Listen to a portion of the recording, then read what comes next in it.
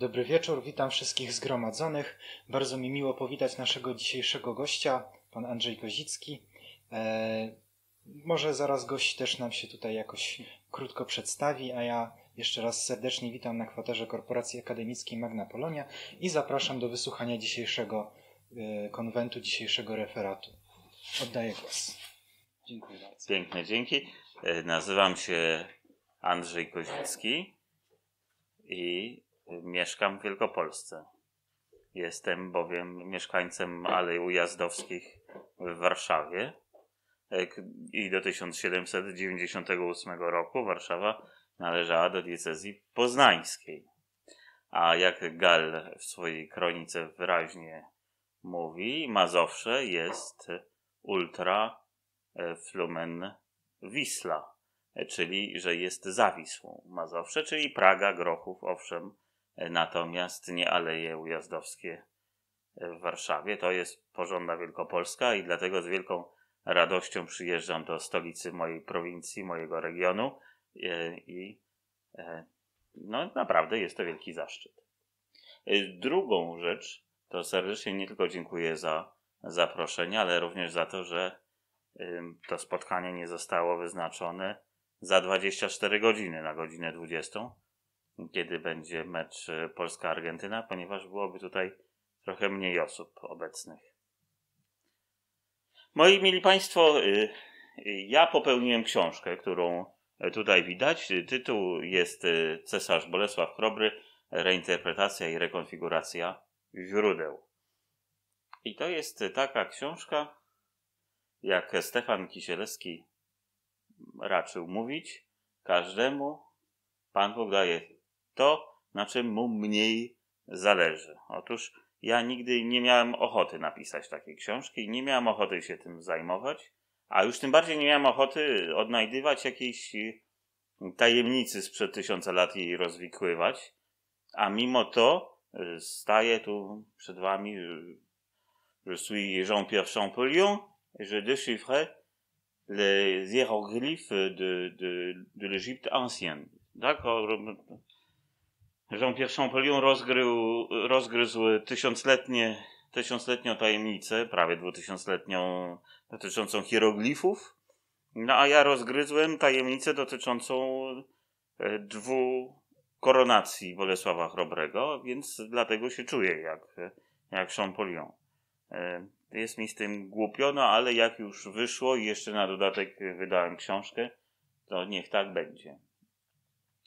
E, Nie jestem na dodatek w takiej sytuacji, żeby każdy się rzucał w księgarni na tę książkę, bo już ktoś e, lat temu siedem wydał książkę o tym, że Chrobry był cesarzem i jest to taka postać Janusz Bieszk, wydał to w Bellonie e, i napisał w niej, no, że po prostu był cesarzem i że należy temu Bieszkowi wierzyć, bo on wie.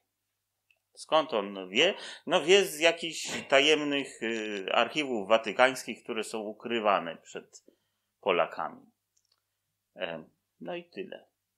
E, dlatego moja książka, która jest oparta niestety na zupełnie jawnych, jawnych źródłach, zapewne nie o takiego sukcesu odnieść nie może. A rzecz jest taka. Były dwie koronacje Bolesława Chrobrego i do tego się e, historycy nawet zgadzają, a w wielu rzeczach się nie zgadzają. Jedna tradycja jest tradycją polską. E, to już pierwszy nasz polski kronikarz, Gall, zwany anonimem, opisał ceremonię, w której przyjeżdża do Gniezna cesarz Otton III i mówi, ale tu wspaniale jest, cudownie, no co za lepszego miasta niż Gniezno w życiu nie widziałem, lepszego jedzenia w życiu nie jadłem, w ogóle jest super i w związku z tym zdjął koronę swoją własną z głowy, nałożył ją chrobremu na głowę i mówi, zasługujesz na, na krzesło królewskie. Tak mówi, tak mówi Gall. Używa tego określenia, że jest to krzesło królewskie. Druga zaś tradycja y, to są roczniki hildesheimskie oraz y, kwedlinburskie, które datują rzecz zupełnie inaczej. Mówią, że w 25 lat po wizycie Ottona III Bolesław Chrobry koronował się na króla i namaścił się. No i tak sobie są te dwa wydarzenia i są powtarzane w różnych podręcznikach i książkach i nic z nimi nikt nie robi. Mnie to w pewnym momencie zdenerwowało, bo ja jestem politolog, ja nie jestem historyk, ja jestem politolog i w związku z tym lubię instytucje. I na dodatek również bardzo cenię sobie prawników. To znaczy, jak jest coś napisane i wydane i ma nagłówek i tam jest powiedziane, co to za instytucja tę rzecz wydaje. Wszyscy politolodzy są instytucjonalistami. W związku z czym akurat y, okres ottoński, i to jest powód, dla którego nikt przede mną aż tak bardzo się nie wgryzł w te źródła, okres ottoński jest czasem, w którym uważa się, w którym nie ma po prostu produkcji prawnej. Ta produkcja prawna jest bardzo nikła. Te prawa są i to widać, że oni korzystają z nich. Na przykład bardzo chętnie korzystają z kapitularzy Karola Wielkiego i ich używają. No ale to są kapitularze, które są wydane 200 lat wcześniej. Tak? I oni po prostu nie uważają za właściwe, żeby je e, w jakiś sposób poprawiać. Tak? Nie są wydawane. Cała produkcja prawna okresu ottońskiego, czyli od roku 919 do roku 1027, to jest łącznie około 700 e, dokumentów e, prawnych, a jakby policzyć razem z, wszystkie kancelarie cesarskie, to do tysiąca. Do tysiąca. Dla porównania, kiedy był cesarz Zygmunt e, w czasach Jagiełły, e, to 14 tysięcy podczas swojego własnego panowania tylko, 14 tysięcy dokumentów prawnych jego kancelaria wyprodukowała. W związku z czym historycy prawa nie siedzą w tych czasach ottońskich. Tam po prostu nie ma nic ciekawego. Nic ciekawego. Dla Niemców, dla Francuzów, dla Włochów. E, tam są właśnie bowiem kancelarie y, królewskie. Natomiast kancelarii polskiej w ogóle nie ma. Jak jest Dagome Judex, e, to wszystko wskazuje na to, że w około 990 1992 roku e, pojawiają się jacyś posłańcy w Rzymie i tutejszy poznański e, historyk Dariusz Andrzej Sikorski, profesor tutejszego uniwersytetu, z maestrią wręcz wykazał, że właśnie nie przywieźli żadnego listu do Watykanu. Że było to właśnie ustne poselstwo, opowiedzieli, że jest taka Polska, opowiedzieli, jakie ma granice, po czym zostali niezrozumiani przez miejscowego watykańskiego urzędnika, kurialistę, który spisał grzecznie oczywiście, że tutaj się ktoś oddaje e, w opiekę stolicy apostolskiej, ale ponieważ e, był taki zwyczaj oddawania na przykład prawa do pewnej części dochodu, e, również w przypadku zupełnie prywatnych, rodzinnych wydarzeń, i tak prawdopodobnie było z Dagome Judex. To znaczy ten dokument o tym, że Polska oddaje się świętemu Piotrowi w opiekę, został włożony nie do segregatora z umowami międzynarodowymi, że król taki i owaki coś załatwia z papieżem, tylko do zupełnie innego segregatora, e, w którym e, były właśnie prawa stolicy apostolskiej do korzystania z dochodów z winnic, gajów oliwnych, gajów pomarańczowych. Tak, i tam jest ta informacja o tym, jakie są granice Polski, że to jest morze, potem wzdłuż Rusi, Kraków, Ołomuniec, e, aż do Szczecina. Tak samo e, w 1018 roku, to jest taki kronikarz Titmar nam to przekazuje, Polacy zdobywają Kijów i informują o tym, że zdobyli Kijów i wysyłają poselstwa konne do Konstantynopola i do Rzeszy Niemieckiej, do y, Merseburga. Merseburga, jak mówią Niemcy, przez Z. W sensie, tak? S czytają twardo. E, I również to są ustne. I to na dodatek jeszcze z pogróżkami. Titmar pisze, że Bazylemu e, cesarzowi przekazano, że jeśli nie będzie uważał, to będzie miał do czynienia z Polakami. I wreszcie w 1031 i 1032 roku jest taki kryzys, kiedy Polska, czy też państwo Mieszka II przegrywa wojny i w wyniku tego kryzysu jest kolejne poselstwo o to, ażeby przywrócić Mieszka II do władzy, ale już mocą cesarską. No i znowuż jest to poselstwo bez papieru. Czyli kancelarii polskiej w ogóle nie było. Wszystko, co wiemy, to wiemy ze źródeł pisanych, które są e, proweniencji, no dziś by się powiedziało niemieckiej, tak, ale z Rzeszy, stamtąd. W związku z czym myśmy tkwili wszyscy w tym, e, w tym zawieszeniu, co to też się wydarzyło z tym chrobrym Bolesławem i z jego dwiema koronacjami, aż tu nagle pojawił się pewien Czech. I tutaj te osoby, które są obecne, mogą zobaczyć, że na jednej z kserówek y, mamy y, Martina Wichodę, fragment z jego książki, którą, to jest bardzo, bardzo dobry zawodnik, świetny, świetny mediewista czeski. I książka się nazywa Prwi, První Czeska Królestwi, y, czyli pierwsze czeskie królestwo. Rzecz jest w miarę świeża, to znaczy w 2015 roku to wydał. E, rzecz jest poświęcona Wratysławowi II, rzeczywiście pierwszemu czeskiemu królowi. No i oczywiście zastanawia się, jak to nowocześni mediewiści, nie po prostu, że sobie jest królem i że to pierwsza koronacja, ale dlaczego akurat? Dlaczego akurat dopiero wtedy e, się pojawia, pod koniec XI wieku, pojawia się pierwszy król czeski? No dlaczego nie na przykład 100 lat wcześniej? No przepraszam, no, no co złego było, żeby Czesi, nie, żeby Czesi mieli wcześniej królów. No na czym, na czym ta tajemnica królowania polega? A nie tylko on, to znaczy nie tylko Czesi mają z tym problem i nie tylko my z tym chrobrym. Jest takich narodów więcej. Są Węgrzy, którzy zastanawiają się, i zaraz będziemy o Węgrach. Są Węgrzy, którzy zastanawiają się od kiedy i dlaczego są królestwem, oraz Duńczycy. Duńczycy, którzy jeszcze później dostali koronę, mianowicie dopiero w XII wieku. I do czego doszedł Martin Wyjoda? I to jest na tej drugiej stronie, po prawej stronie, i on w taki sposób najpierw przeczytam, a potem skomentujemy, co też on, co też on o tym Galu anonimie pisze. Bo to jest tak.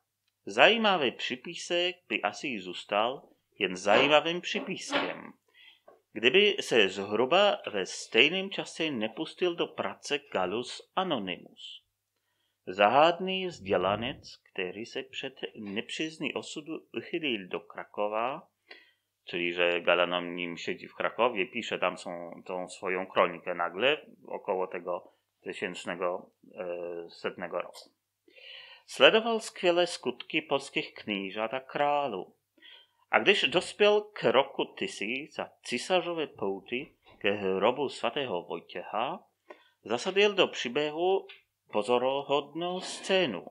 I teraz właśnie jest, że nagle ten galanonim y, opisuje scenę przybycia y, cesarza Ottona III do Gniezna i to uważa za ważną rzecz w kronice. No rzeczywiście to jest, to jest rzeczywiście początek.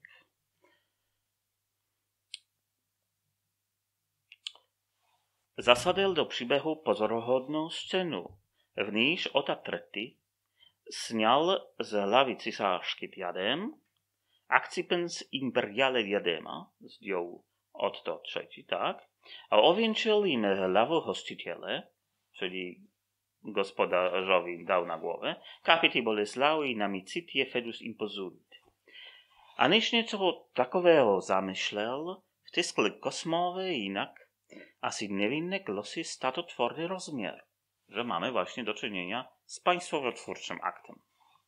Niebot w pruseciku dwóch na siebie niezawislych, a przece podobnych spraw se zrodziła myślenka, no i teraz właśnie przechodzi do do naszego clue, do swojej, do swojej tezy, Martin Wychoda, że se mochucki ceremoniał, czyli że ceremoniał, który miał miejsce w Moguncji, ceremoniał y, nałożenia złotej obręczy przez cesarza Henryka Wracysławowi Czeskiemu, że se mochucki ceremoniał wiadome wracał, czyli świadomie odwoływał się, wiadome wracał k gnieźnieńskiemu aktu, y, do tego aktu z Gniezna, z wyświetleniem, że w roce 1000 był knieże Polanu uweden mezi pomazany kreacją regni. A że w mochuci roku 1085 była koroną wyszperkowana sklawinia Świeżyna Czechum.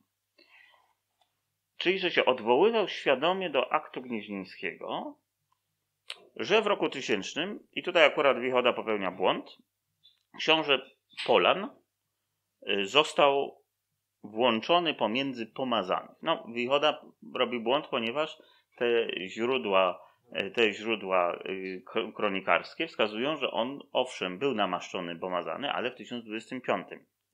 Drugi, ale o tym Wichoda też nie wie, to znaczy on wierzy, że to byli Polanie. W tej chwili już historycy nie wierzą, że istniało plemię Polan, że nazwa polska od pól pochodzi, a nie od Polan. E, jest taka zgoda językowo-historyczna. Czyli, że w 1085 roku w Moguncji ten cesarz zupełnie świadomie odwołuje się do tego, co się wydarzyło w Gnieźnie w roku tysięcznym. I dlaczego to, co Martin Wichoda, jego teza jest dlaczego taka ważna? Dlatego, że Gal pisał zupełnie dużo później. To znaczy, Gal pisał około 1113-1116.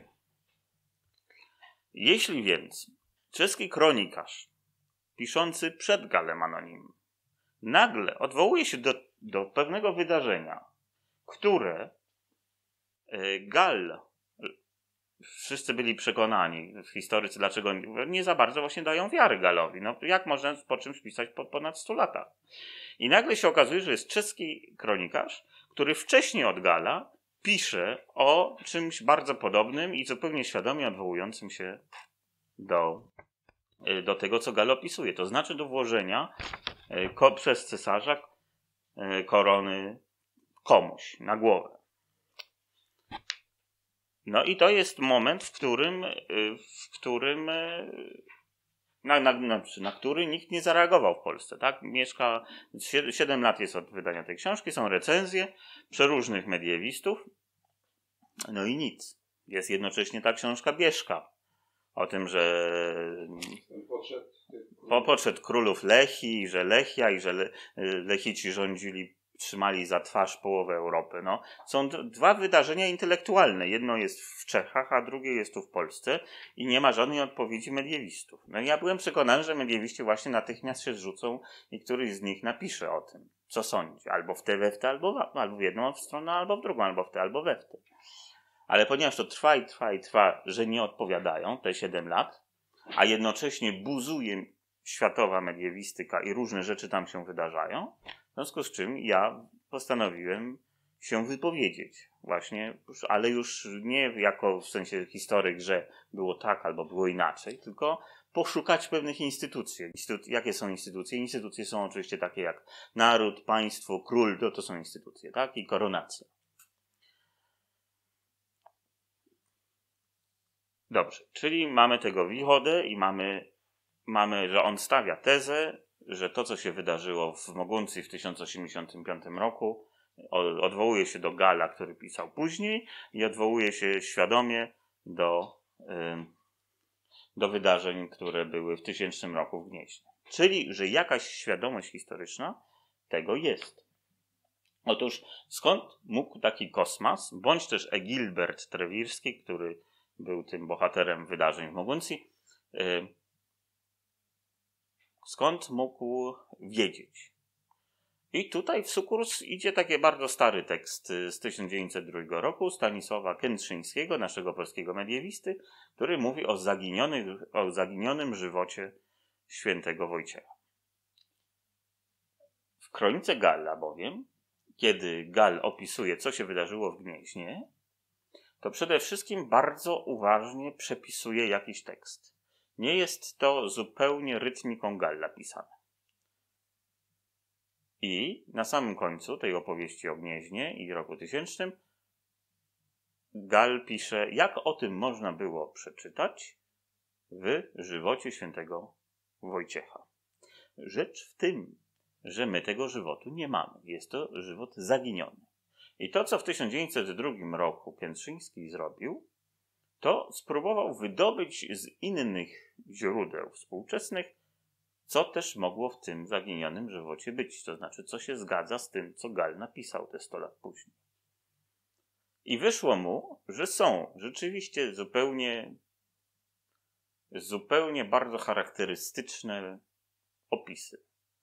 Przede wszystkim u Titmara, który jest naj, najbardziej dokładnym kronikarzem zajmującym się sprawami między innymi Polski. Czyli jest Titmar. Dwa, jest Ademar. E, Ademar z Szaban. I tutaj też właśnie rzecz dosyć nowa i na którą polscy mediewiści w żaden sposób nie zareagowali, to jest to, że w 1999 roku wyszło wydanie krytyczne Kroniki Ademara z Szaban. I dotąd uważano, pod wpływem niemieckiej historiografii, że ten fragment dotyczący spraw polskich jest bardzo późnym dopiskiem z około 1160-1180 roku. W związku z czym nikt nie brał poważnie tego, co tam było napisane. Ale Francuzi dotarli do oryginału pisanego ręką kronikarza, y, który rzeczywiście zachował się w archiwach watykańskich. Jest ta kronika po prostu. I wiadomo, że została napisana w 1027 roku. A co tam Ademar pisze? Ademar pisze taką historyjkę, dosyć współgrającą właśnie z Gallem i Stitmarem, że oto cesarz Otto ofiarował tron. Ba! Nie dość, że tron królewski, jak jest u Galla, ale że on był złoty. Ba! Nie dość, że złoty tron oferował, to jeszcze na dodatek to nie był byle jaki tron, tylko sam cesarz pojechał z chrobrym, tak pisze Ademar, pojechał z chrobrym do Akwizgranu, włamał się w podziemia bazyliki akwizgrańskiej i wyciągnął nieboszczyka trupa Karola Wielkiego, który tam siedział na swoim złotym tronie i tron dał chrobremu. A chrobry nie dość, że zabrał złoty tron, to jeszcze, żeby nie było, że nic, że nic z tego nie, że to taki, że to po prostu podarek. W związku z czym musi być wymiana prezentów. Co mu dał w zamian? Dał mu kości z prawej ręki świętego Wojciecha. Na co, i tu pisze się Ademar Szaban, cesarz się bardzo ucieszył.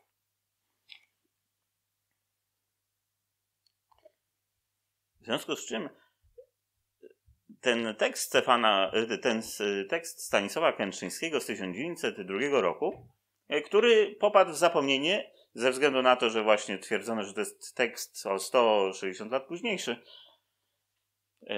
nagle do nas wraca. Nagle do nas wraca, nagle trzeba się nim zająć poważnie. No i właśnie się nikt nim, tym nie zajął. Czyli, że są trzy, yy, trzy objawy recepcji zaginionego żywotu świętego Wojciecha, o których właśnie Kętrzyński pisze. I jeszcze jest czwarty. Czwarty, którym się zajmuje Martin Wichoda. Czyli są aż cztery przejawy tej recepcji. I w tym momencie ja zacząłem grzebać to, co my możemy więcej wiedzieć.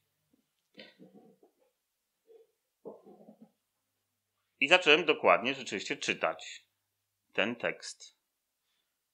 I zorientowałem się, że wszyscy polscy historycy żyją tłumaczeniem na polski tego tekstu. Skądinąd rzeczywiście kronika Galla jest świetnie przetłumaczona, ale jednak przez osobę, która nie była zainteresowana e, instytucjami, e, bądź też po prostu nie miała żadnego zacięcia prawniczego, że pewne są słowa, które mają znaczenie.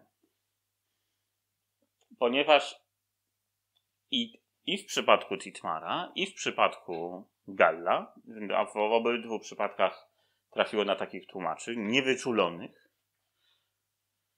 że kiedy Titmar pisze, że Otto III zrobił chrobrego fecit dominum, to właśnie w tłumaczeniu Jedlickiego jest, że go zrobił panem.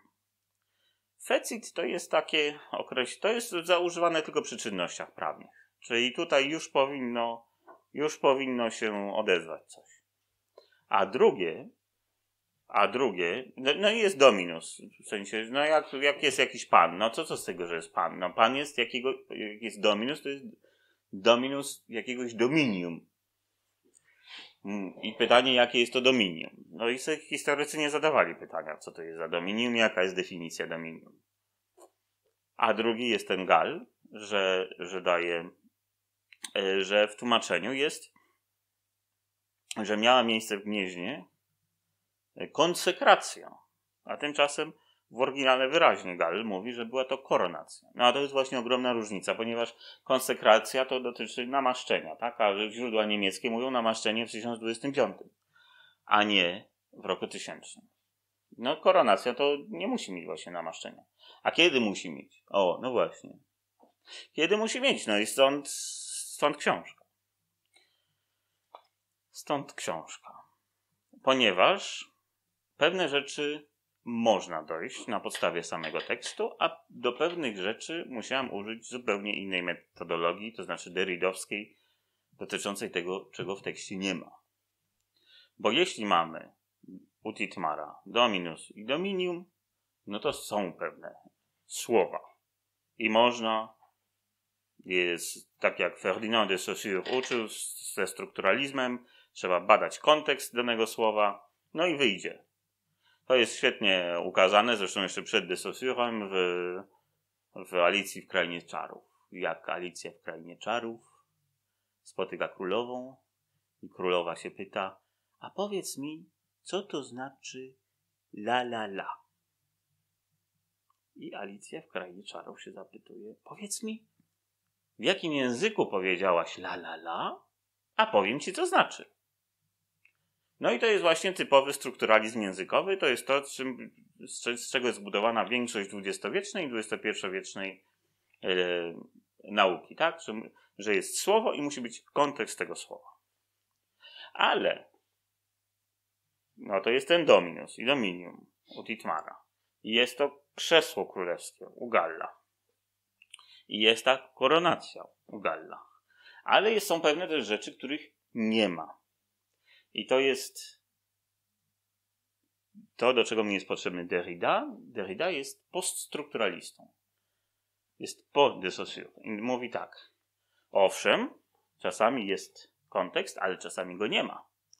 I teraz kim jest Derrida? Derrida to był taki algierski Żyd, który chodził grzecznie do szulu talmudycznego. Jak wszystkie grzeczne no prawie, że hasyckie dzieci. No nie ma hasydów w tamtym regionie świata, no ale w sensie, że jest bardzo ścisły religijny światopogląd. I jak pojawiła się Francja Vichy, były, były, były czasy hitlerowskie, zabroniono edukacji żydowskiej religijnej. Wówczas mały Derrida, który tam miał 8 lat czy 10, został przesunięty do szkoły państwowej francuskiej, kolonialnej, pierwszych.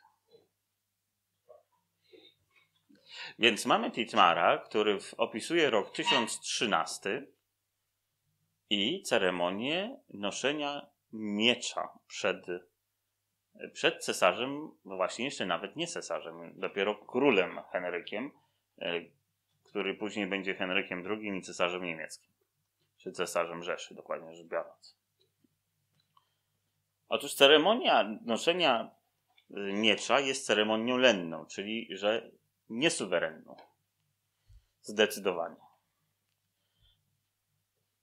I w związku z tym sprawa tego, no, nie chciano się tym zajmować, no bo to oznaczało, że Polski jako kraju niepodległego w roku 1013 nie było.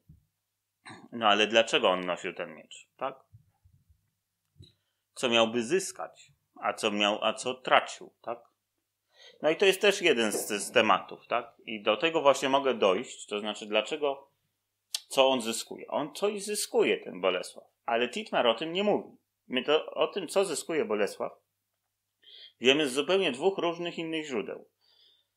Jednym źródłem jest rocznik kamieniecki, który pod datą 1013 pisze, że e, Mieszko, syn Bolesława Chrobrego, wziął za żonę Rychezę z domu panującego ottońskiego.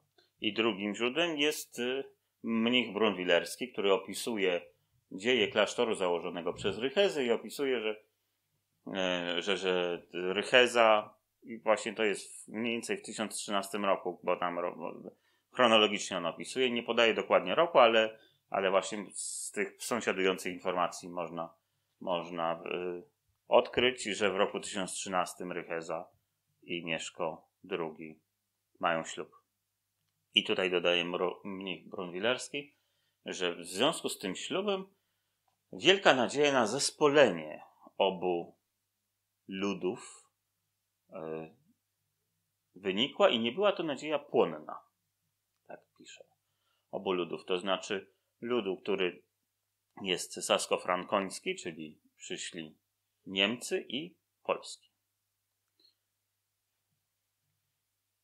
I to jest tajemnica tak naprawdę tego 1025 roku. To znaczy to, co się dzieje w 1013 roku, że Piastowie postanawiają się i udaje im się wrzenić w dom panujący cesarski, jest tym, co otwiera drogę do 1025 roku, czyli do pomazania i namaszczenia, ponieważ namaszczenie królewskie jest czystym wynalazkiem ustrojowym karolińskim. Nie występuje poza, nie występowało wtedy i dopóki nie, ten monopol nie zostanie złamany przez papieży w wyniku sporu o inwestyturę, nie występował E, poza systemem rodowym Karolingów, do którego to rodu należeli zarówno władcy sascy, jak i władcy przyszłej Francji, tak? czyli zachodniofrankijscy.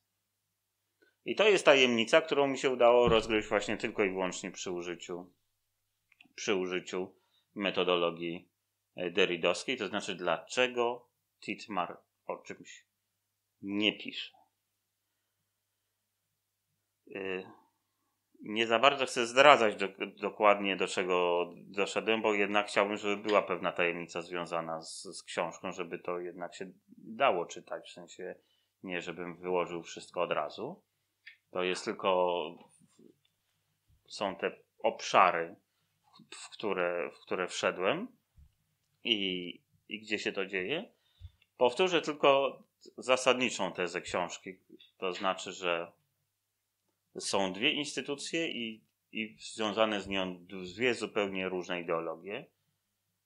Jedne instytucje są cesarsko-rzymskie, to znaczy z Rzymu, cesarza antycznego Rzymu, które próbuje wprowadzić Otto III i wykorzystując te um,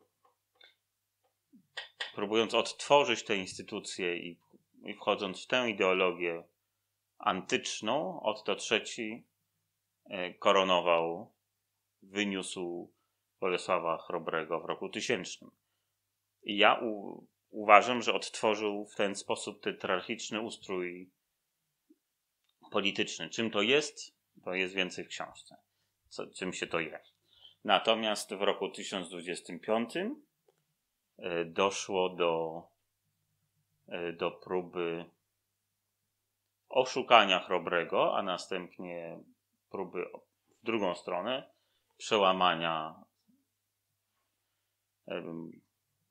woli elit e, saskich i frankońskich przez Chrobrego, związaną z namaszczeniem i z tytułem król. E, tytułem król jako Rex, tak, ponieważ no właśnie.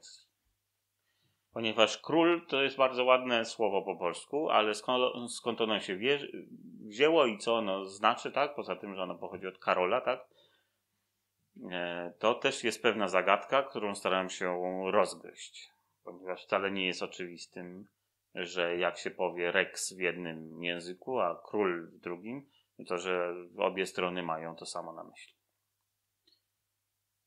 I ta tajemnica 1025 roku królowania, tajemnica królowania, nałożenia korony, namaszczenia i wrzeniania się właśnie w dwór, w, w, w, nie w dwór, tylko w wrót, wrót cesarski jest tą drugą tajemnicą, którą musiałem rozgryźć e, i którą wydaje mi się rozgryzłem właśnie. I dlatego ta książka niestety jest gruba. Ta książka ma 300 stron plus 40 y, y, stron tych takich y, indeksów, ale jest 300 stron A5. Czyta się to w ciągu dwóch wieczorów. Jest narracją zwartą, której, która jest no, niewątpliwie dużo przyjemniejsza od tego, co ja dziś mówiłem. Tak? Bo ja już ja już tak długo tą książką żyję, że w tej chwili już tylko i wyłącznie sprzedaję pewne koncepty intelektualne. Być może to, co mówię, jest zupełnie nudne i nieciekawe. Natomiast książka jest narracją na szczęście. I ona się rzeczywiście zaczyna od czegoś, coś tam się dzieje i w związku z tym y, się czyta dobrze. Koniec mojej opowieści. Dziękuję pięknie y, i życzę przygód. przygód. się nie wywiniesz, bo przygotowałeś nam tutaj materiał, który nie zdążyłeś nam być wspomnieć. Tutaj mamy świadki Rzeszy, na których nie widać czwartej świadki. Prawa po złotych tron zostało powiedziane. Prawa po złotych tron mieliśmy tutaj, ale fragmentu drugiego dokumentu też Sylwestra papieża Dobrze, więc. Stefana II Węgierskiego. Dobrze, więc pokazuję najpierw do, do kamery. Jedną rzecz, którą robiliśmy, to był ten Martin Wichoda. E, a to, czego jak dotąd nie wspominałem, to jest, to są pewne teksty źródłowe oraz mapa dotycząca ćwiartek. Ćwiartki to jest rzecz, która jest jak Unia Europejska i NATO. To znaczy, że dwie instytucje mogą na, na siebie nakładać. Instytucje rzymskie oraz instytucje saskie, które, które są dosyć podobne, no bo jedne i drugie dotyczą cesarstwa, ale jednak nie są tożsame. I w związku z tym, tak jak pewne części Unii nie należą do NATO i, i na odwrót, tak samo, y, tak samo to, co jest y, ćwiartką wymyśloną w obrębie y, Cesarstwa Rzymskiego Antycznego przez Ottona III, tak? Znaczy w sensie odtwarzania antycznego cesarstwa. Antyczne cesarstwo zostało przez Dioklecjana podzielone na ćwiartki. Stąd jest tetrarchia. Tetrarchia, czyli po grecku, że jest czterech władców. I e, tymi ćwiartkami, które Otto III chciał rządzić, e, to miały być e, Gallia, Germania, Sklawinia i Italia i na czele ćwiartki Sklawini postawił Chrobrego. E, natomiast inną, e, innym sposobem myślenia było to, co wymyślili Karolingowie, e, i to jest z kapitularzy Karola Wielkiego z 806 roku. Kapitularz Dywizja Imperii o tym, że można powoływać oraz rozwiązywać królestwa w obrębie Imperium Karolingów. I w związku z tym właśnie dzielono.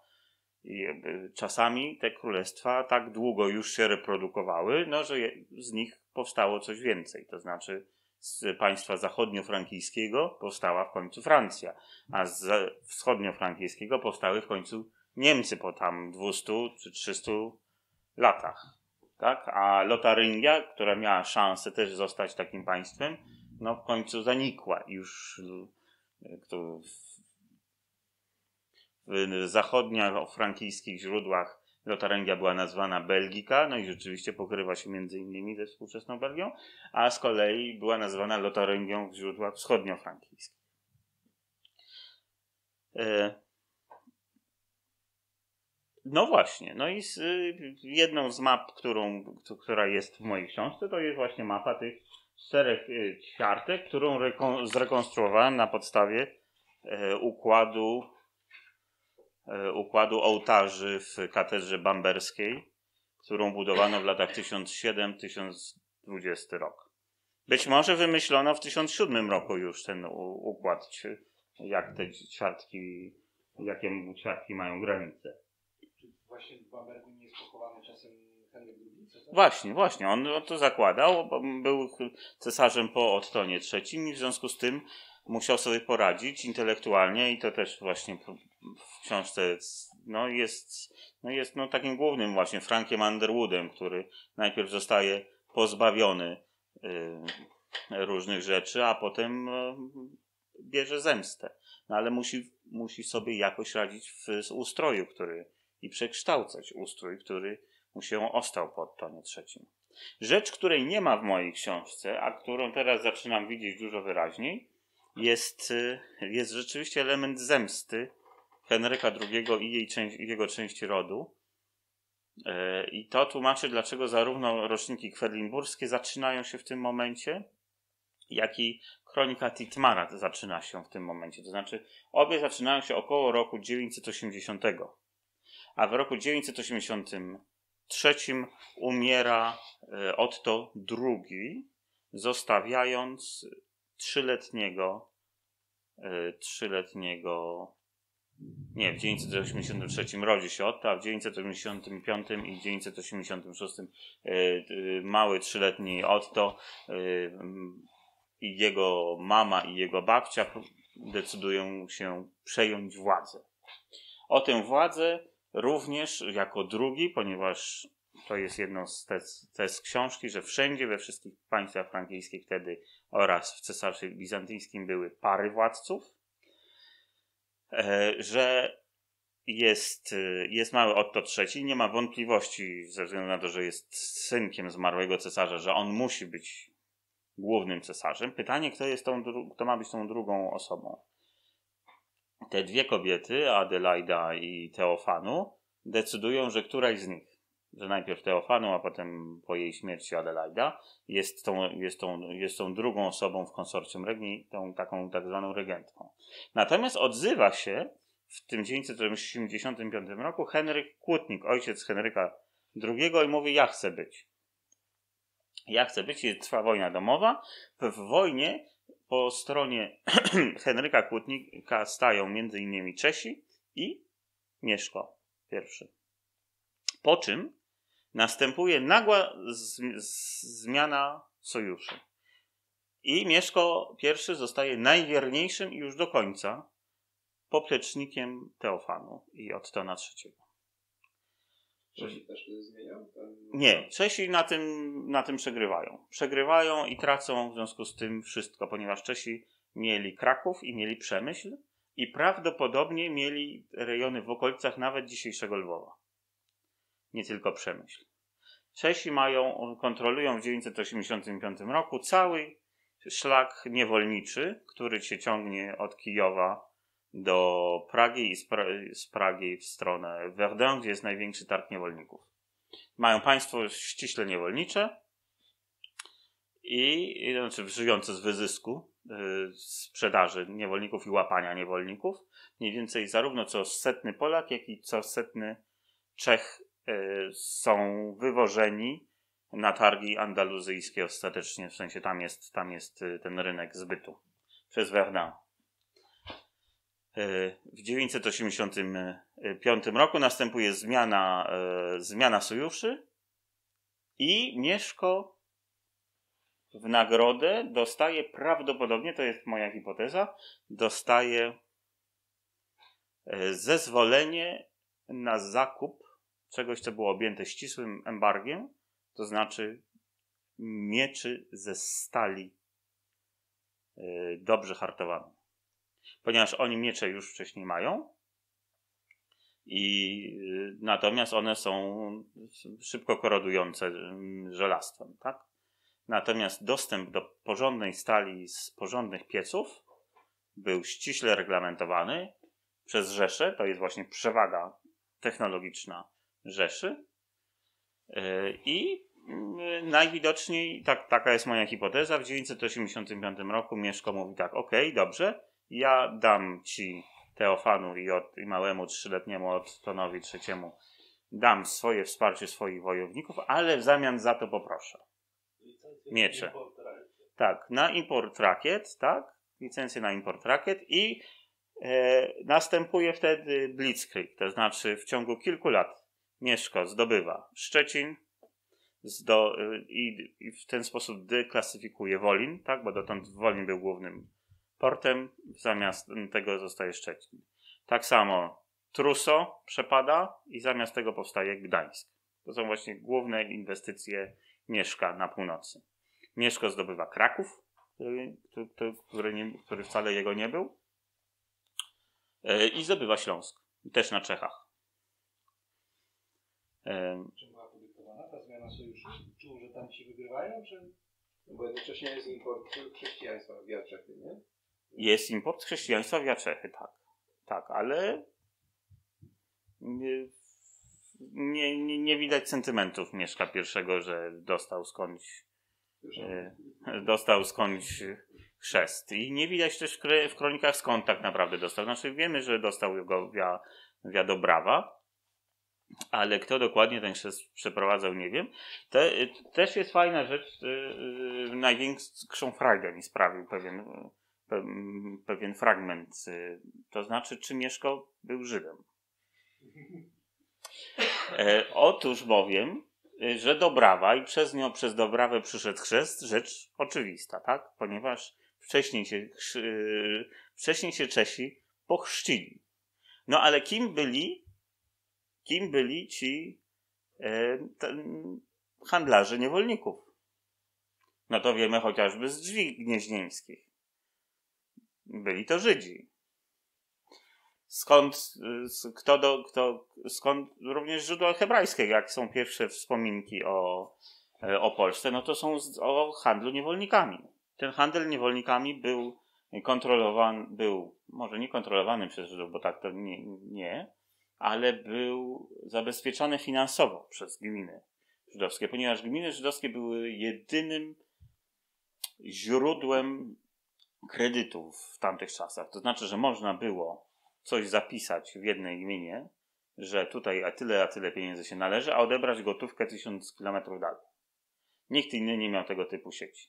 I ta sieć gmin się rozciąga od Verdun przez Trewir, właśnie Maguncję, Pragę, y, Kraków, Przemyśl. Tak silne finansowo, że były w stanie. Były, były nie tyle silne finansowo, co były silne zaufaniem. To jest tak, jak popatrzysz, była taka afera z 15 lat temu Bernarda Madoffa, który ukradł miliardy. Y, no ale dlaczego? Pytanie nie jest, jak ukraść miliardy, tak? W sensie, y, że można ukraść miliardy. Tylko co sprawi, że tyle osób, tylu miliarderów tobie zaufa, żebyś ty mógł te miliardy ukraść? To nie jest takie proste. Każdy by chciał, może nie każdy, ale przechodzi przez myśl, że można byłoby ukraść miliardy, tak? Ale doprowadzić do sytuacji, w której ktoś zawierza ci miliardy, no to jest właśnie ten element przewagi, yy, przewagi instytucjonalnej tak naprawdę, która polega na tym, że jak masz szabes, to musisz yy, ze wszystkimi rozmawiać, tak? Nie, nie masz jak w katolicyzmie czy w grekokatolicyzmie ukraińskim, bo to badania były największe robione ze 20 lat temu już e, e, psycholodzy społeczni dostali ogromny grant, ale właśnie tylko w, w Kanadzie i zastanawiali się, jak to jest, że dużo większe sukcesy w biznesie odnoszą, e, odnoszą tam Żydzi, a nie odnosi wspólnota ukraińska, która, Ukraińcy są bardzo silni w Kanadzie, zawsze mają jedno z trzech najważniejszych stanowisk w kraju w tej chwili to chyba minister obrony jest. I a najczęściej jest to generalny gubernator, tak? To, jest po prostu drugie największe państwo ukraińskie na świecie, Kanada, tak? W sensie ich tam są, ich tam jest tak dużo. No ale było to, był ten grant, było to badanie, no i wychodziło, że no co, co robią Ukraińcy? Ukraińcy są rodzinni, tak jak zresztą Polacy są rodzinni. To znaczy idzie się w niedzielę do kościoła, ewentualnie uchyli czapkę sąsiadowi i idzie się do domu na rodzinny obiad. Tymczasem jednak e, u Żydów szabes spędzasz z, ze społecznością. I, I muszą to być albo sąsiedzi, albo idziesz po prostu do synagogi i z, z nimi jesz, jest, spędzasz cały, na cały wieczór. No jest to po prostu nastawione na społeczność. I owszem, możesz oszukać społeczność i możesz się udać do innej synagogi, ale w pewnym momencie ta liczba synagog ci się kończy. Nie jesteś już w stanie dalej uciekać. E, więc y, y, owszem, jest wyższy poziom zaufania. Jest to. Dzięki temu można robić biznes, no ale też i, i koszt wylec, utraty bycia w społeczności jest, jest bardzo wysoki. E, no ale wracając do tego, że właśnie był ten trakt niewolniczy, o tym, o tym że on był w miarę silny, świadczą jeszcze nawet brak teatry Mieszka III, czyli już bardzo późne. I one są pisane, one są pisane pismem, które jest bucharyjskie. A Buchara to jest co dzisiejszy Kazachstan, Tadżykistan, to coś takiego, nie? W związku z czym e, to świadczy o tym, że po prostu była, była ciągłość kulturowo-komunikacyjna wśród Żydów. Jeszcze głęboko w XII, na, na przełomie XIII wieku. E, no dobrze, ale wróćmy, bo to akurat śmieszne, czy Mieszka był, był Żydem, ponieważ mógł być Hazarem. Mógł być Hazarem, o czym świadczy napis na tumbie e, grobowej. Tumba grobowa e, tutaj w Poznaniu, w, w, zapadła się akurat wieża nad tą kaplicą w 1790 roku i i pogrzebała tę tumbę. Tumba sama w sobie była gotycka, ale była kopią, tylko że po prostu taka, taka była moda, po prostu nastawianie ładniejszych grobów, ładniejszych tumb i, i Kazimierz Wielki postawił nową, ale na szczęście przepisał tekst, y, który był na tumbie grobowej. Jest to dosyć długi wierszyk, bardzo bardzo pełen y, szczegółów i, w związku z tym ja się przychylam i tutaj akurat jak mediewiści atakują moją książkę, to atakują głównie za to, dlaczego ja wierzę tej tumbie. E, a wierzę tej tumbie, ponieważ nie wydaje mi się możliwe, żeby, bo oni mówią, no, no jak to, jak to, no jak tumba ma, wiemy, jest od Kazimierza Wielkiego, no to wtedy została wystawiona, nie, nie może być kopią. Nie może, nie może, no wtedy wymyślono wierszyk, mówią, bo to był taki dobry władca. Ale nie, nie wydaje mi się, żeby po 250 latach, bo tyle jest mija, żeby po 250 latach ktoś, y, czy nawet 350, tak, bo to jest za Chrobrego, po 350, po 300, yy, za Kazimierza Wielkiego, po 350 latach y, ktoś chciał nie dość, że pisać długie wierszyki, to jeszcze na dodatek w ostatnim wersie jest chronostyk, to znaczy jest ukryta data zapisana tak w inny sposób. Y, kiedyś, ile lat miał Chrobry, kiedy umarł. No to ja jestem gotów uwierzyć nawet, że rzeczywiście po 350 latach ktoś ma ochotę pisać i wstawiać pomniki, dajmy na to Augustowi III Sesowi, tak? No to nie, czy, kogo tam mieliby, mielibyśmy? 150 lat to jest co, Michał Korybut Wiśniewiecki, tak? Żeby, że teraz stawiamy mu grup na nowo, piszemy wierszyk, no ale żeby jeszcze na dodatek e, wspominać w ostatnim wersie, ile on miał lat, no to no dajcie spokój, no. To jest moim zdaniem główny argument za tym, że to, to tumba e, grobowa naprawdę została, został tekst przepisany, bo, bo by nikt się nie bawił w to, ile chrobry miał lat e, kiedy umierał, no. Takie, takie informacje by nikt, nikt nie, nie po 350 latach, żeby takie rzeczy wykuwać w kamieniu, to nie, nie wydaje mi się, żeby to miało sens. Dlatego wierzę, w, że tekst oryginalny z tumby naprawdę został na, naprawdę tumba była XI-wieczna, zaraz po śmierci Chrobrego i wtedy wymyślono ten wierszyk. No a tam w wierszyku właśnie jest, że, że on był perfide patre, czyli z ojca przechrzty, nie z poganina. No i różne mogą być hipotezy. Jedna hipoteza jest taka, e, której nie, już tam nie pisałem, ale jedna jest taka, że mogła być tak jak z Włodzimierzem Kijowskim, kiedy zastanawiał się, co zrobić ze swoim państwem i, i wezwał. Jest taki u Nestora ładna, ładna opowieść, że wezwał e, tych muzułmańskich imamów, wezwał rabinów i wezwał księży. I na którą religię tutaj się przerzucić, tak? To jest jedna hipoteza, no, że, że po prostu Mieszko w pewnym momencie zdecydował się na to, żeby przejść na judaizm, a dopiero po tym, jak zobaczył, że to niezbyt efektywne, no to przeszedł, e, przeszedł na, na chrześcijaństwo, tak? To jest jedna hipoteza. A druga hipoteza jest taka, no, że rzeczywiście mógł być Hazarem, no skoro, skoro państwo czeskie było ściśle niewolnicze, no dlaczego państwo, które tutaj było, nie mogło być również niewolnicze, tak? skoro no właśnie na, na, na drzwiach gnieźnieńskich mamy tych niewolników wykupywanych przez świętego Wojciecha. Więc jeśli rzeczywiście handl, z handlarzy niewolników, a taką tezę postawił swego czasu Henryk Samsonowicz, że, że państwo Mieszka było państwem niewolniczym i że on był po prostu herszczem takiego gangu handlarzy niewolnik żywym towarem, E, no to, że mógł być Hazarem. No bo Hazarzy e, zbywali tych niewolników, no bo to szło właśnie w stronę jedną Persji i Iraku, a drugą Andaluzji, tak? I, I przypływ tych monet srebrnych, które tutaj do, docierają, no to są właśnie monety srebrne, za które się kupowało niewolników i tu akurat Dariusz Adamczyk najpierw po niemiecku, a ostatnio też i po polsku wydał książkę na ten temat. Jest jeszcze jeden, jeszcze jeden wątek, który, który mógłby wskazywać na to, że rzeczywiście e, drużyna Mieszka była takim właśnie gangiem.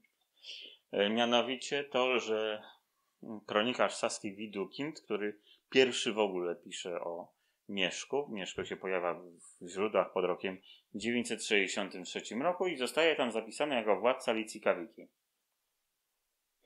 I przeróżni historycy różnie próbowali ustalić, gdzie to plemię jest. Ale ostatnio się pojawił taki Grzegorz Walkowski, bardzo ekscentryczny amator historyk z Bydgoszczy, który wydał swoje eseje, mocno męczące, ale intrygujące. Męczące dlatego, że on nie uznaje przypisów. Trzeba się domyślać, tik napisać, dsk na odwrót, zamiast dsk napisać cyk. E, czyli, że władca Licikawiki to byłoby, że Mieszko, władca, e, władca e, handlarzy niewolników. No i znowuż jeszcze jedno źródło, to znaczy Ibrahim ibn Jakub, który zostaje wysłany przez tego kalifa Kordoby, żeby tu przypłynął. No ale po co on tu zostaje wysłany? Po co? No po to, żeby sprawdzić, co jest z tym wysychającym źródłem niewolników. No i przyjeżdża i już rozumie do tej Pragi, tak? Bo tam Praga się chrzci w 928 roku, tak? Czyli, że już, już część Czechów jest, dlatego jest mniej, że część Czechów jest już chrześcijańska, już samych Czechów nie chcą łapać, tak? Już idą gdzieś indziej łapać. I kosmos ostatni raz, jak, jak, się, jak, się, jak jest pokaz łapania na niewolników i ich prowadzenia to jest w kronice kosmasa rok 1309 rok i prowadzenie mieszkańców Poznania, Giecza i Gniezna w żelaznych obręczach na targ do, do Pragi. No i tym smutnym akcentem poznańskim bym skończył odpowiedź na, na to pytanie. No dobra, a to jeszcze chwilę o układance, układance o Węgrach. O Węgrach. Mamy koronę Stefana, tak? Właśnie, mamy koronę Stefana. I to, co tutaj jest, to jest akurat y, dobry, dobry y, objaw tego, w jaki sposób historycy porządkują źródła. Mianowicie rzecz y, to jest taka kartka, która rozpoczyna dzieło, które się nazywa Diplomata Hungarii Antiquissima, czyli najstarsze dokumenty y, węgierskie z różnych kancelarii. No ale rzecz w tym, że y, list papieża o tym, że daje Stefanowi węgierskiemu koronę, objawił się nagle światu w XVI wieku i został znaleziony w jednej z, z chorwackich klasztorów. E, I od strony paleograficznej, czyli od tego, jak pisano literki, wiadomo, że jest to falsyfikat. No, ale i tutaj to jest y, ten wybór źródeł. Giorgi Giorgi się nazywa ten, e, zmarły zresztą już, e, ale wybitny, wybitny mediewista węgierski i on postanowił rozwiązać ten sposób ten, ten problem następująco z tą koroną węgierską. E, dać temu nieistniejącemu listowi numer jeden, nie cytować tego listu XVI-wiecznego w ogóle, następnie wybrać trzy fragmenty z kronik najstarszych, które by jakoś, czy kronik, czy źródeł najstarszych, które by jakoś się odnoszą, że jakiś list mógł być, bądź był. I następnie rzeczywiście są, jest żywot większy świętego Stefana, jest y, legenda Hartwika i jest kronika polsko-węgierska. I zróżnicował rzecz wielkością czcionki. E, czcionka większa to jest jakaś informacja nowa. Natomiast w każde kolejne źródło mamy część nową, dużą czcionką, a potem jest malutką czcionką to, co zostało przepisane z poprzedniego źródła. I w ten sposób do, do, jesteśmy w stanie ustalić, które rzeczy w którym momencie były wymyślane. Bo e, no bo właśnie, jest ten żywot świętego Stefana, który pojawia się dopiero w momencie sporu o inwestyturę. Wcześniej nic nie ma. Ani słowa. W ogóle pierwsza korona, którą papież, no bo właśnie na czym rzecz polega? Tak zwane rozdawnictwo koron. E, kto może taką koronę dać? Żeby być królem. Bo inna rzecz, co to znaczy bycie królem wcześniej, tak? I to o tym jest moja książka. Ale jest ta rzecz późniejsza, że w pewnym momencie co chwilę ktoś zostaje królestwem. A to Duńczycy zostają, a to Czesi, Polacy też. Czesi mają tę manię tego, że um, Czesi mają manię, że oni chcą mieć króla dziedzicznego. Węgrom, Węgrzy za każdym razem muszą prosić o koronę, mimo że Stefan ją dostał. I cesarz im za każdym razem ją daje. Czesi dostają koronę też od, y, od cesarza. Duńczycy od cesarza Fryderyka Barbarossy. Polacy? A, Polacy od papieża. Bolesław II śmiały dostał od papieża. I, no właśnie, na jakiej zasadzie? Y, na takiej zasadzie też w tej, musiałem to w książce opisać skąd się to wzięło właśnie, że, że Rzym uznał, że ma prawo rozdawać korony. No to się wzięło z Piotra Damianiego oraz z pewnego wyjątku, no, poniekąd pirackiego, to znaczy Normandowie. Wilhelm zdobywca zdobył Anglię, która była chrześcijańska. I w związku z tym tam było 14 biskupów. Jakby Rzym mu nie uznał że Wilhelm jest królem, to by można, to by obalony król mógł mianować biskupów, no i, no i byłby zgrzyt. W związku z czym Wilhelm, zdobywca, grzecznie prosi. I to jest pierwszy przypadek w historii, że y, papież daje koronę. Wilhelm, zdobywca, wysyła list do Rzymu i prosi o to, żeby mógł się koronować że on też jest chrześcijański. No i co? Jakaś tam forsa poszła. I dostał zgodę, no. Dostał zgodę i świetnie na tym wyszedł. Świetnie na tym wyszedł. Dwie trzecie, kiedy Wilhelm zdobywca umiera, dwie trzecie składu episkopatu angielskiego to są jego kumple już. A tylko jedna trzecia to są ci byli bis biskupi. Wa ważna sprawa. Między innymi są listy takiego, e, jak są, jak, jak są wybory cesarza w 1024 i 5 roku. I startuje taki Wilhelm V akwitański. I przyjeżdżają do niego i proszą, żeby wziął po prostu koronę Królestwa Włoch, która jest jedną z trzech najważniejszych koron ówczesnych, żeby sobie ją wziął. No i co? I stworzył cesarstwo na swój sposób, który tam mu jest potrzebny, że już nie muszą ci Niemcy rządzić, mogą rządzić Francuzi cesarstwem, a co, co szkodzić, tak? Niech, niech, niech akwitańczycy rządzą światem. Wszyscy gadajmy po francusku. Dlaczego nie? No Włochom w ogóle to nie przeszkadza, o, byli bardzo zadowoleni. Ale mówią tak. Yy, przyjedź do nas z tym wojskiem, przekup co, co trzeba, ale najważniejsza sprawa to trzeba wyrzucić tych biskupów niemieckich. Nie interesująca sprawa. Nie, nie, nic innego im nie przeszkadza. Dosłownie nic. Tylko i wyłącznie to, że są ci niemieccy biskupi, tak? Że, czyli, że tam jest władza. Nie gdzie indziej. I rzeczywiście tylko biskupi, mający swoje kościelne latyfundia, mają forsę. To jest w ogóle czas bez podatków. Czas bez podatków. Jedynym krajem w ówczesnym świecie, który ma system podatkowy, jest Anglia. Mianowicie został on ustanowiony około tysięcznego roku i służy do opłacania wikingów, żeby wikingowie nie najeżdżali ciągle i nie rabowali.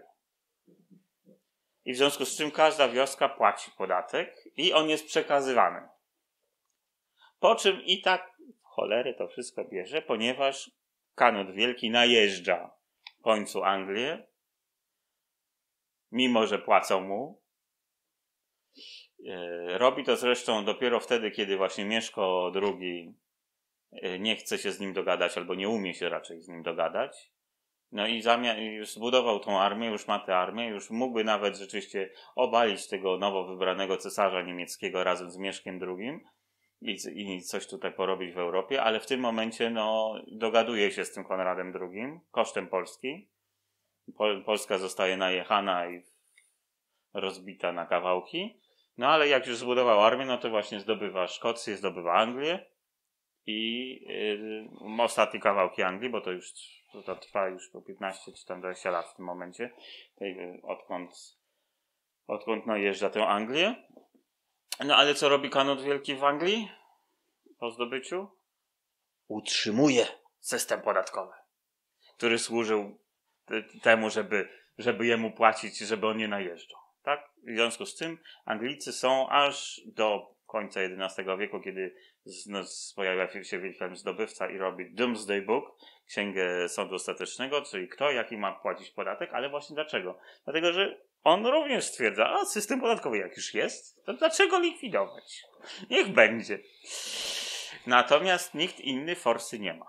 Tak? Chrobry jest y, wyjątkiem i Czesi z tymi niewolnikami to są wyjątki, że mają forsę.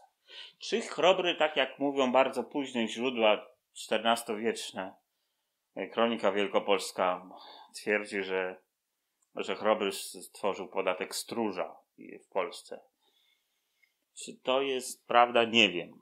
Nie wiem, ale z jakiegoś powodu Chrobry rzeczywiście ma pieniądze i nie, ma wojsko i pieniądze i robi różne, przeróżne rzeczy.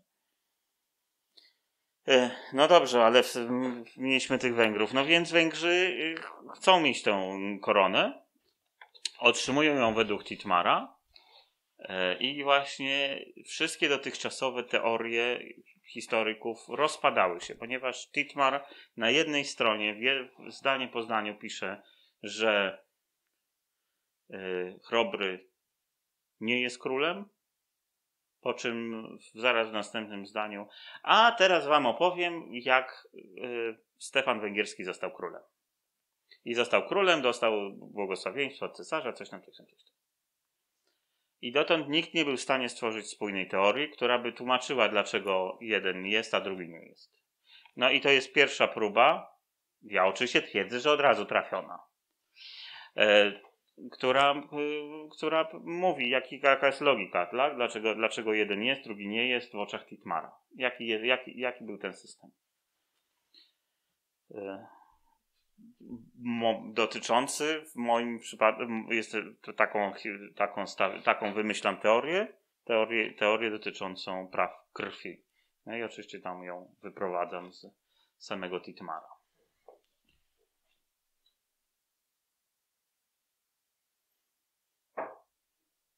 Część zasadniczą możemy kończyć, ale myślę, że niektórzy mają jeszcze pytania, które sobie za kulisami będziemy chwilę mogli porozmawiać. Bardzo jestem wdzięczny wszystkim, którzy oglądają aż do tego momentu.